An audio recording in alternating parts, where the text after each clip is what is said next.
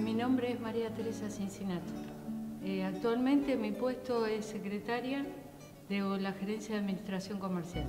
Son muchos años, es mucha historia, es mucho lo que uno vive acá.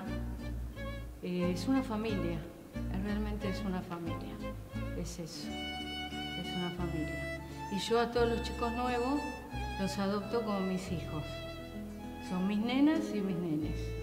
Acá había un baño que tenía una acústica espectacular. Y cuando yo venía los fines de semana a hacer horas extras, eh, reconozco que me escapaba a ese baño a cantar, a morir.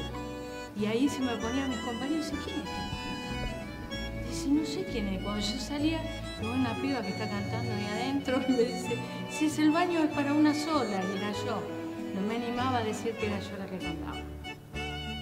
Todo empezó eh, como un juego, cantando en la secundaria, en el coro, en el año 81.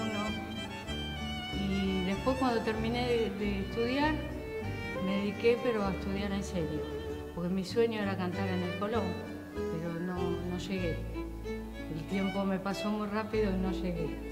Actualmente canto en despedidas, en fiestas, en fiestas de cumpleaños de 15, en aniversario de casado, y si no, canto en mi casa.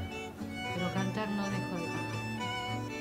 Y para mí el cantar es, es, yo le digo que Dios me toma de la mano cuando yo canto. Es muy fuerte lo que siento cuando canto.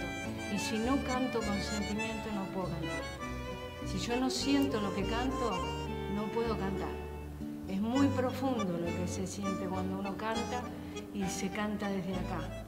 Es muy, me siento íntegra, me siento yo. Soy yo. Poco a poco me convirtió en hija de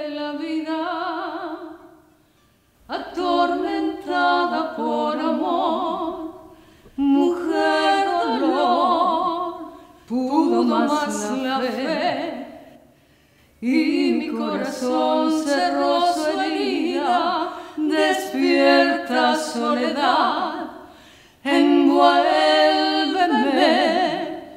soy esa extraña dama que está dispuesta a vencer.